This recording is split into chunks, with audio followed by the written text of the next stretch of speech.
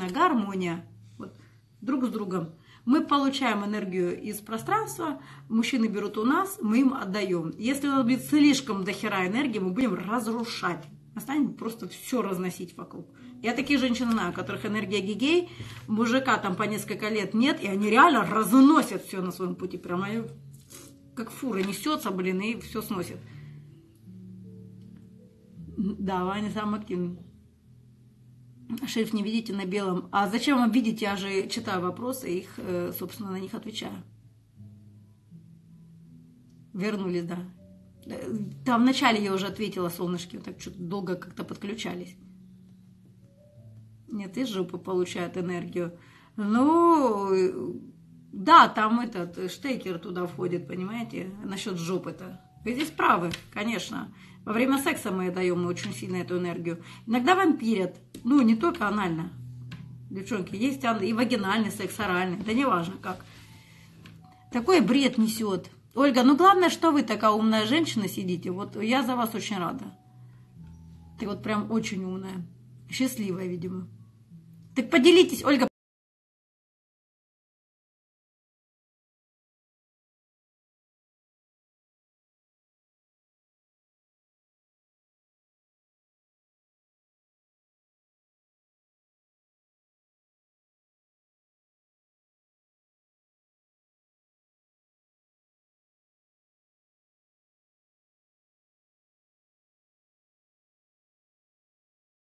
собой. То есть ему нужно э, к вам тянуться. А это труд. А нахуй мужику, который привык ни хера не делать, трудиться. Его устраивала баба, у которой висела жопа, висели сиськи, был целлюлит. Ему все было хорошо. Он мог говорить, что ты так себе скромно выглядишь. Ну, короче, херово ты выглядишь. Э, Но ну, я тебя так люблю. Нахумный, да. Но ты чуть попозже. Вот, пока не могу так жестко. Вот. Э, нафиг тебе еще этот спортзал? А теперь он видит, что так, конкуренция стала появляться. Вы представляете, у мужика, у которого все было прям ровно, гладко, шито-крыто, которое баба иногда давала, у нее там комплексы были, он, он, я об этом говорил. А тут она вдруг смотрит в зеркало, она, вот вы сейчас хорошо написали, я стала лучше выглядеть. Правильно, вы стали лучше выглядеть. У вас самооценка другая, у вас вы вообще изменились, у вас энергетика поменялась. Не люблю шопиться, нет.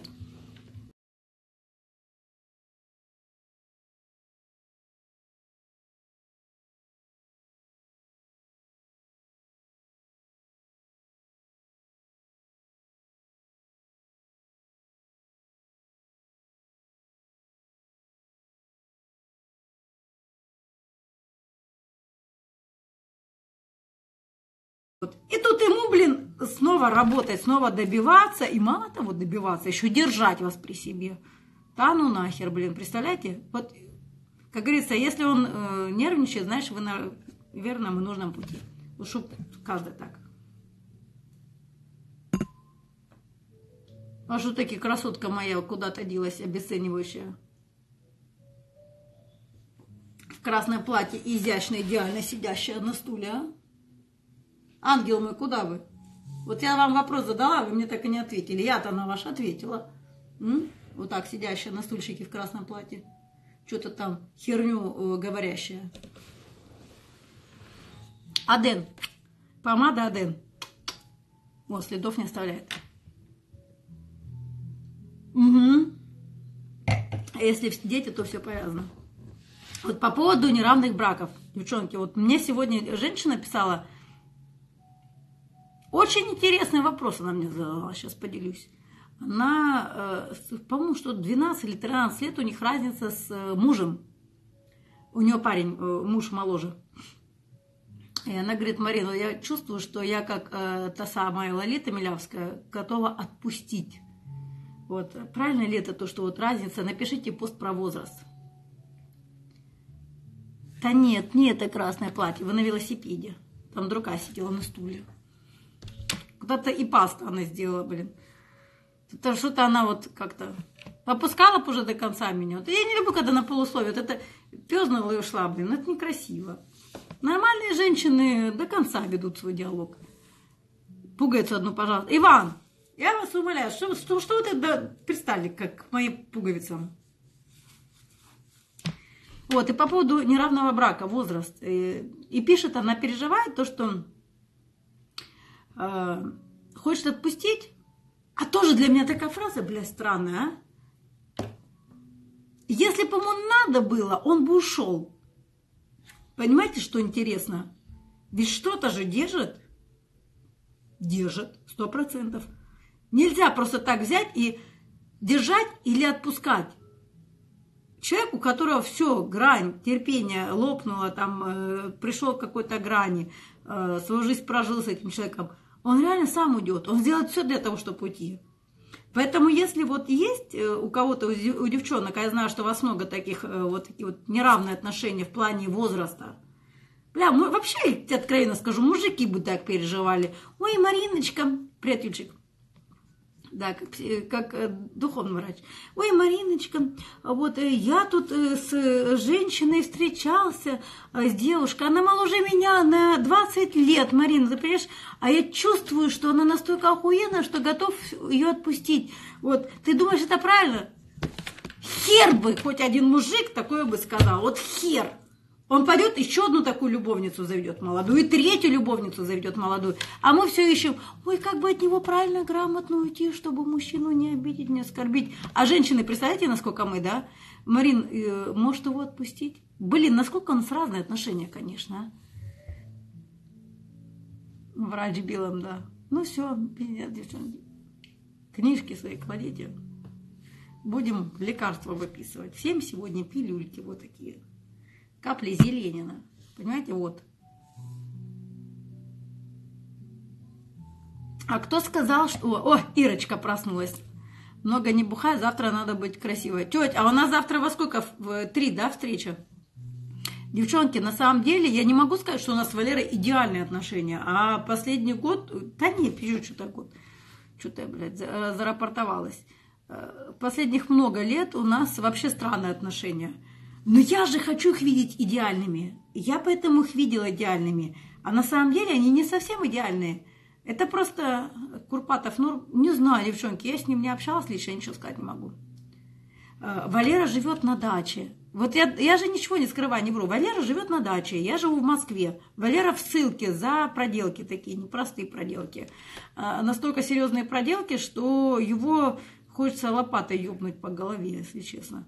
Вот, но это у меня такой вот прям... Я хоть и спокойный человек, выносливый, там, сдержанный, но я его ёбнула бы лопатой несколько раз. А когда очнется, еще бы несколько раз. Вот, ну вот э, мы сейчас с ним в стадии выяснений, какой лопатой его бить. И если что-то решится, я вам сразу расскажу. Вот не буду врать, ничего там скрывать не буду. Мне там говорили, Марина, а почему вы тут про мужа не говорите, что, типа, вы уже развели? Нет, я не развелась. Я не развелась, но Э, я готова к этому и очень серьезно я настроена, потому что есть некие моменты, которые меня вообще априори не устраивают. Вот прям, ну совсем.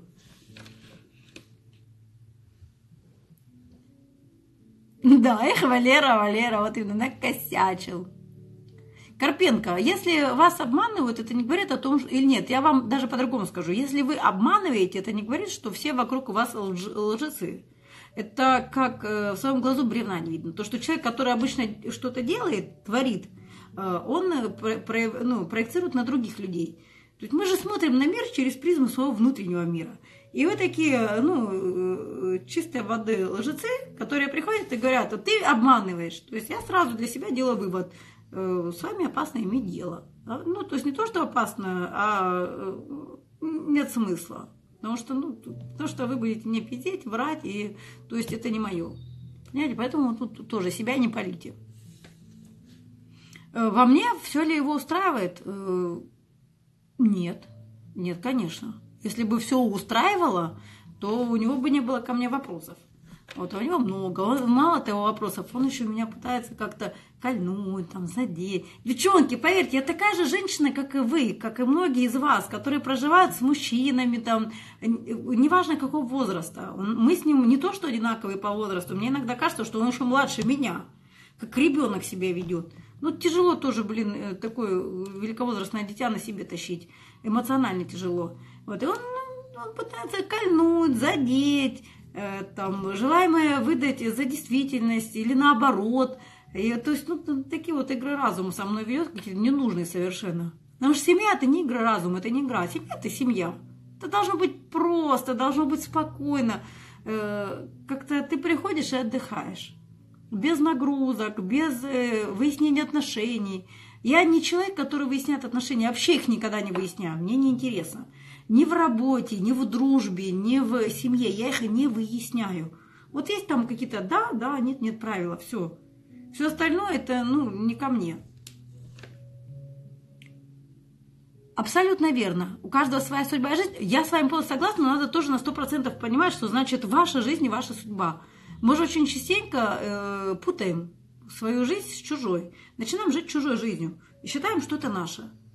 Вот, а там, а там как, а здесь? Это же меня касается, значит, это моя жизнь. Нет, ваша жизнь, это только ваша жизнь.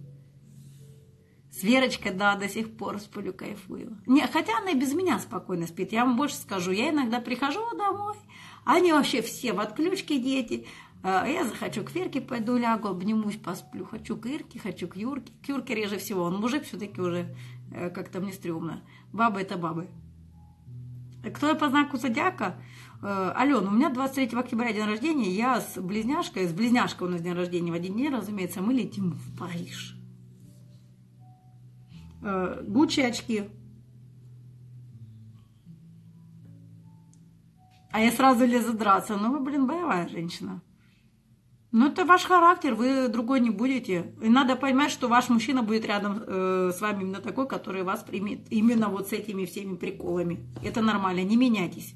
Не нужно. Будьте естественными, настоящими. Вот это меняться, это, это для меня лицемерие чистой воды. Не нужно. Э, как-то родителям сказать, что моя жизнь – это моя жизнь. Не 37, замуж живу отдельно. Но вы попробуйте своим родителям подсказать, как им э, нужно э, жить. Понимаете? Вот просто подскажите своим родителям, как им нужно жить. Или намекнуть, что мам, ты, конечно, мне извини, или папа, еще папы еще тоже любят очень воспитывать. Вот давай-ка ты полностью возьмешь меня под свое обеспечение, меня, моего мужа, мою семью, и потом будешь учить жизни. Давай? Вот а что нет, когда да. И потом э, пацан написал палец. А, ну, Иван, ну, блин, замуж выходи за меня. Я замуж вообще не собираюсь. Я еще вот так-то на минуточку замужем. Чувствую себя идиотом. Ой, знаете, такие манипуляции приятные, Иван. Не чувствую себя идиотом, удели мне внимание. Ля-ля-ля, тра-ля-ля, блин. У меня, э, я могу внимание по-разному уделить, знаете. Я считаю, что если я вот нах пошлю, это тоже внимание уделила, причем очень сильно. Да не 1500 человек, это то, что вы видите, а на самом деле будет около 5 или 10 тысяч человек, когда я выйду из эфира. Это ежесекундно происходит, вот это 1500, которые не выходят из эфира вообще. Марин, 37, боюсь остаться одна в разводе. А одна в смысле вы помирать собираетесь или чего? Девочки, 37, у вас все только начинается. Вы не молодая девочка, 20 лет такая глупенькая, да? Вы уже взрослая, умная женщина. При этом охеренно сейчас, ну вот, 38 лет. Я сейчас себя люблю еще больше, чем 22. Честно, я вам искренне скажу. Э, я более уверенная, я более, я знаю, что мне надо. У меня есть э, там цели, э, о которых я не стесняюсь говорить. Э, ну, то есть Сейчас жизнь принадлежит мне на 200%. Раньше я думала, что кто-то должен что-то сделать. Вот я вот сейчас выйду там замуж, кто-то... Да нихуя никто вам ничего не должен. Все в ваших руках. 37 лет, молодая, красивая женщина, которая наконец-таки будет жить. Чего вы боитесь? Да неважно и то, что вы развелись, вас бросили, я не знаю, вы кого-то бросили с детьми или нет. Поверьте, когда вы начинаете жить, э, именно жить жизнью, своей жизнью, Э, на полную катушку, дышать полной грудью, вот тогда у вас она появляется, эта жизнь, у вас все двери начинают открываться. А пока вы живете прошлым, страдаете в этом ебаном прошлом, психолог года, да, ебаное прошлое, пока у вас там гештальты не закрыты, пока вы не находитесь здесь и сейчас, вы убегаете вперед, там начинаете страдать впереди. Вы поймите, вы здесь и сейчас, вы со мной разговариваете в эту секунду, у вас жизнь сейчас происходит. То не вернуть. Будущее, возможно, не заглянуть. Никто не знает, как у вас будет завтра. Здесь и сейчас живите, бля, получайте удовольствие сейчас. Надо что-то сделать, делайте сейчас. Надо что-то изменить, меняйте сейчас. надо, э, вот вы хотите что-то, вот хотите завтра улететь, да, как мне вот пишу девчонки, э, э, пиш, напишите, что вам для счастья надо. Заебали вы мне своим здоровьем, вот честно, вот просто здоровье, здоровье всем моим близким, здоровье. А ваши близкие думают об этом также. Эти, эти же близкие пиздюки будут болеть вами, манипулировать, чтобы вы прыгали все с бубном, вокруг танцевали и плясали, чтобы им уделяли внимание. Тупо манипулируют вами. Не хочешь жить, иди нахуй помирай. Все, не еби мне мозги, иди помирай. Не хочешь, все, нахуй с пляжа. А я хочу, блядь, на Бали полететь. А я хочу полететь остров, и я хочу мир вообще увидеть. А вы сидите и думаете о том, чтобы ваши близкие не болели. А ваши близкие думают о том, что вы хотите, а? Что вы хотите быть счастливой. Вот ты просто скажи, Зай, заебала болеть, будь ты э, здоровый уже, чтобы я могла что-то другое пожелать, а? Чтобы я помимо твоего ебаного здоровья, которого ты сама себе не хочешь, хочешь сдохнуть весь со всеми дебильными мыслями, могла пожелать себе что-то другое и сделать это, прийти к этому. Вы понимаете, у каждого из вас, мы же рождаемся счастливыми людьми для того, чтобы быть счастливыми. У нас много чувств и эмоций. Это ненависть, это гнев, это злость, это агрессия. И мы выбираем почему-то все вот эти деструктивными. Деструктивные вместо одной счастливой, быть счастливой. Почему? Потому что они очень яркие. Счастье это же такое. Мы же, если вспоминаем, всегда говнище какое-то вспоминаем. Дерьмо какое-то вспоминаем. Он там. Это я таких людей много знаю. Вот, а кто-нибудь вспоминает счастье? Вот при разводе люди говорят о какой-нибудь говне, дерьме. А они не говорят о том, как им было счастливо и охуенно до того, как они поженились. Вот мы разводимся, но мы вспоминаем, как нам было хорошо. Нет, они говно начинают лить. Понимаете, в чем прикол? Будьте счастливы, ведь это так просто. Хочешь быть счастливым, будь им. Забейте на всех, проявляйте иногда вот такой эгоизм. Не, эгоцентризм, а именно эгоизм проявляйте. Э, здоровый эгоизм. Полюби э, врага своего, как самого себя. А классно, да, фразочка-то? А? А знаете почему? Вот в чем секрет-то весь? В том, что хуй вы себя полюбите. Вы же врага будете ненавидеть, разумеется. Вы себя ненавидите. Вы ненавидите всю свою жизнь. Любите себя. А вы же не поймете, что такое любить вообще кого-либо, потому что вы себя не любите. Любите себя. У вас есть э, э желание полететь на остров. Что вас держит? Ой, у меня много дел, много работы, много проблем, а у меня муж не отпустит, а у меня мама болеет. Опять, одни вокруг, блядь, манипуляторы. Вам жизнь дана один раз, один долбанный, гребаный раз. Ну, используйте ее. Ну, по назначению используйте жизнь, чтобы жить. А мы живем и думаем, как мы будем помирать. Мы живем и думаем о болезнях. Мы, э, мы вообще не живем, но мы уже помираем. Ой, я боюсь заболеть онко. Ой, я боюсь, что что-то с моими близкими случится. Ой, я боюсь, что все болеют, болеют, кругом болеют, заболеют. Схуя ли это? Вы когда-нибудь видели счастливых людей, вот прям счастливых, реально искренне, чтобы они болели? Ага, сейчас. А знаете почему? Потому что им некогда заниматься, это им не для кого болеть. Им не надо выдавливать из людей эмоции для того, чтобы там, э, заявить о себе. И мы так заебца. Они берут, летят, путешествуют. Знаете, какой-то непростой путь на самом деле был э, вот к, к этому осознанию. Очень сложно. И поболеть пришлось тоже много, как, как и все, знаете, поболеть, там, попереживать, попиздострадальничать за любовь, за отношения, что за что-нибудь, блин. Вот, и когда я осознала, что есть э, счастье, свобода, хотя вы сейчас можете мне рассказывать, о, Марина, счастье у всех свое. Согласна, да? Кому-то пизострадальничать. Так вот вам еще раз ответ. Если вы хотите счастья всем, то вы задайтесь вопросом, а что есть счастье для тех людей, о которых вы так переживаете? Может быть, они счастливы в своих этих болячках. Может, они счастливы в том, что у них вот эти вот пиздострадания душевные происходят. А вы херак и пришли там им жизнь менять. Понимаете, у всех счастье-то разное. Ой, 22 минуты, еще один эфир заканчивается. Господи, как мы быстро их э, проговорили. Что хочу сказать? А что про минет?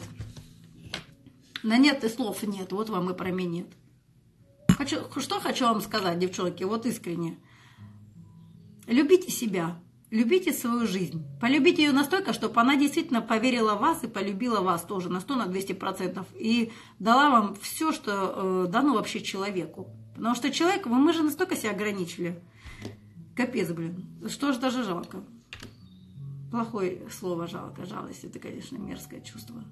это значит опустить кого-то, опустить вас. Если проявлять жалость, это значит э, вас уже опускать.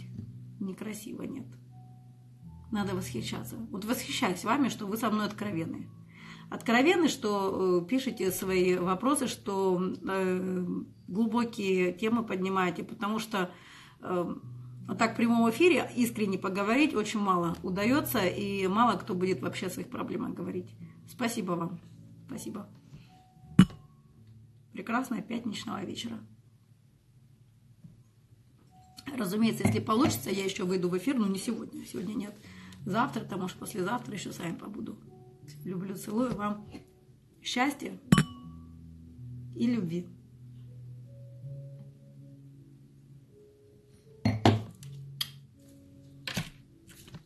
Пока. Побежала к подружкам. Дальше прибухивать. Да, надо себя любить больше, чем мужа. Как вы не поймете себя больше, чем детей, себя больше, чем мужа. Всегда немножечко больше. Чуть-чуть. Я не говорю, что полностью. Немножечко больше. Понимаете? На первом месте всегда должны быть вы у себя. А потом все остальные.